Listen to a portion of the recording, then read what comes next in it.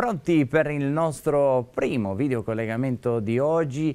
Vi avevamo anticipato che vi riportavamo a Matera dove siamo stati abbastanza spesso nel, nell'ultimo periodo perché questa eh, città, la città dei Sassi, sta vivendo in realtà un periodo di grande fermento sociale e culturale. Anche i Sassi stanno parlando a Matera, quindi la regia ci offre intanto uno scatto panoramico su questa meravigliosa città del sud Italia dove Mariella Stella, eh, innovatrice sociale, animatrice territoriale, founder di Casa Natural, da eh, qualche tempo sta lavorando anche alla prima edizione di un festival straordinario, un'intuizione pazzesca, un festival che si svolge oggi a Matera ed è il primo festival dell'invidia sociale. Buongiorno Mariella, ben trovata, come stai? Buongiorno, sto bene, emozionata perché parte questo festival, c'è molta attenzione sul festival, quindi siamo entusiasti, non vediamo l'ora di vedere cosa succederà. Ecco, stiamo vedendo a tutto schermo il logo, la grafica del festival, avete avuto un'intuizione straordinaria, non mi sorprende che eh, tutti i media vi stanno seguendo in questi giorni e soprattutto oggi che il festival si svilupperà su un programma lungo ed articolato. Ma facciamo le cose per ordine. Come nasce e perché eh, nasce il primo festival dell'invidia sociale? Allora, nasce sicuramente dall'esperienza, perché io penso che anche il successo mediatico che ha avuto il festival è dovuto al fatto che ognuno di noi ha sperimentato um, questo, questa, questa, sindrome dell'invidia sociale, uh, sia come vittima che come diciamo, protagonista, no? come invidioso.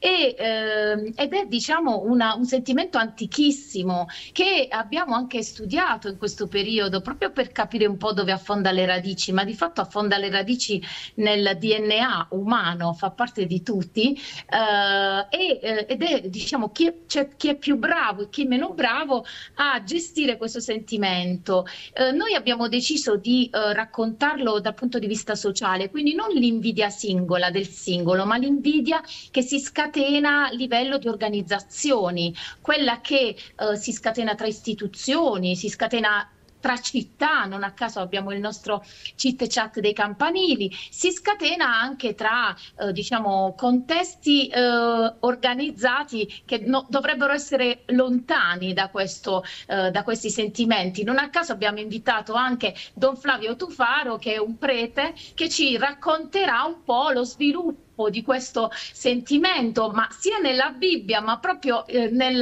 anche nei contesti che insomma uno non immaginerebbe. Bene, io credo che sia veramente opportuno fermarsi a riflettere su queste questioni, su questo argomento, perché tante volte eh, il senso più profondo del festival sta proprio lì. L'invidia appunto ci impedisce invece di eh, fare rete, di collaborare, di eh, volerci bene in maniera costruttiva, perché questo ovviamente non... Non vuol dire che non possiamo eh, fare delle critiche quando quelle critiche sono mosse da un sentimento appunto di eh, voler costruire insieme qualcosa di più bello e di più importante. Quindi ricco programma che stavamo vedendo e di cui ci davi qualche anticipazione anche tu, ma uh, Matera, come dicevamo prima, sta vivendo un gran bel momento e eh, penso tu possa confermarmi che eh, nonostante quel DNA ecco, che ci caratterizza si sta costruendo tanto, vero? Sì, si sta costruendo tanto perché, per esempio, le nostre organizzazioni, siamo nove organizzazioni che hanno deciso di investire in questo festival, ehm, diciamo, provano, a, hanno sperimentato quella che è invece una, quello che è un sentimento bello, che è quello dell'ammirazione. E infatti, poiché lo abbiamo sperimentato e vediamo quanto possa essere accrescitivo provare ammirazione e non provare invidia sociale, abbiamo deciso di organizzare anche all'interno del programma un laboratorio con una counselor factor di ammirazione, l'abbiamo chiamata intelligenza spirituale, cioè imparare ad ammirare piuttosto che cercare di eh, invidiare e quindi cercare di bloccare lo sviluppo altrui per diciamo non provare quel sentimento scomodo no? che ci fa guardare agli altri come migliori di noi e che ci mette a disagio è un'intuizione un davvero molto bella e molto importante perché poi a volte eh, quell'invidia quell appunto ci, non ci permette di eh, confrontarci correttamente con il prossimo e paradossalmente è un danno che facciamo a noi stessi perché l'invidia poi non ci, fa, non ci fa crescere, non solo non favorisce in un certo senso eh, la crescita, lo sviluppo delle idee altrui, ma eh, quella impoverimento altrui poi è un impoverimento anche personale. E si ricollega un po' a questo concetto il tema, il titolo del festival da zero a zero? Sì, il titolo del festival deriva un po' da una, uh, da una, storia che ci veniva raccontata sempre da un amico che diceva che uh, funziona così, diciamo, al sud, ma abbiamo scoperto che funziona così ovunque, visto il successo del festival, e cioè che, um, diciamo, si innesca un meccanismo per cui se io e te giochiamo una partita di calcio, il calcio diciamo, è una cosa comprensibile a tutti, e io segno un gol, tu invece di volerne segnare due, voler essere migliore di me, voler dimostrare di valere di più, in realtà fai di tutto per annullare il mio gol, per riportare il risultato 0 a 0. Che cosa vuol dire il risultato 0 a 0? Vuol dire che nessuno emerge e vuol dire anche che se siamo in una situazione di mediocrità eh, vogliamo per mantenere quella situazione affinché poi non emerga diciamo il valore di uno dei due. E quindi non, in qualche modo non ci sia sviluppo. È, è, una, è una, logica che tiene tutto fermo no? a ze, zero a zero. Quindi tiene tutto fermo in questa diciamo situazione di, di stasi eh, e di mediocrità. Io penso che molti si riconoscano in questo riconoscano questa dinamica ed è una dinamica che dobbiamo superare paradossalmente a volte anche accettando eh, il bruciore della sconfitta perché anche eh, mh, perdere tante volte può insegnarci qualche cosa forse, ecco, come dicono alcuni, perdere tante volte è più educativo che vincere, però ecco, l'importante è non stare fermi perché altrimenti non, non, cresciamo, come dicevamo prima. E poi tanta simpatia intorno a questo festival, tanti colori e tanti slogan come quello che leggo sulla tua maglietta, tutta fuffa. Sì, eh, allora questo hashtag nasce da una...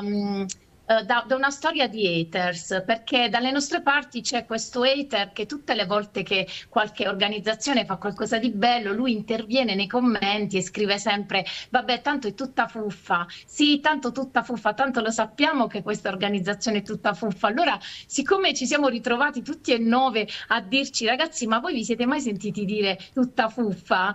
Cioè, è proprio l'espressione di chi vuole, diciamo, ridurre uh, il tuo impegno, di chi vuole dire che poi in realtà non c'è niente dietro quello che fai. E allora abbiamo deciso di farlo diventare l'hashtag del nostro festival, tant'è che poi questo hater ha commentato proprio un post del festival dicendo questa cosa ed è stato divertente perché noi gli abbiamo detto grande, grazie, sei stato tu l'ideatore di fatto di questo hashtag e quindi lo abbiamo così proprio neutralizzato no? nella sua forza invidiosa. Che bello. Che bello riuscire a ribaltare questi luoghi comuni, questi cliché e fare dei nostri territori dei laboratori permanenti di innovazione sociale, quindi davvero complimenti per questa intuizione e per il prezioso lavoro di rete che state facendo a Matera. In conclusione Mariella ti chiederei come eh, si può fare per partecipare al festival, per quanti magari vivono a Matera o nei pressi e possono raggiungervi con facilità e come possiamo seguirvi noi dalla distanza. Allora, noi siamo da questa mattina alle 10 fino a stasera alle 21 al Museo Ridola, appunto in via Ridola a Matera e si svolgerà tutto lì l'evento e si alterneranno momenti di laboratorio, momenti scientifici con sociologi, antropologi importanti e ehm, quindi è possibile venire lì. Per chi è lontano faremo delle piccole dirette dal nostro evento perché c'è moltissima attenzione, vorremmo ecco, che anche chi non riesce a partecipare possa seguire un minimo eh, quindi non sarà tutto in diretta all'evento, però ci saranno dei momenti di dirette, quindi basta andare poi sul sito da 0 a 0, in particolare sui canali social Instagram e Facebook da 0 a 0 per seguire un po' in diretta attraverso le foto e video quello che succederà.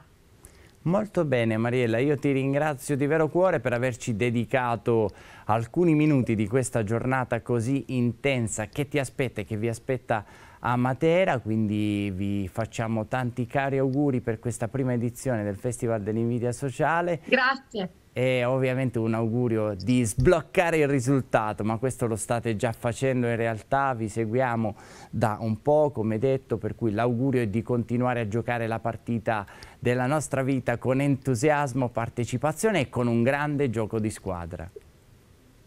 Grazie, vi aspettiamo.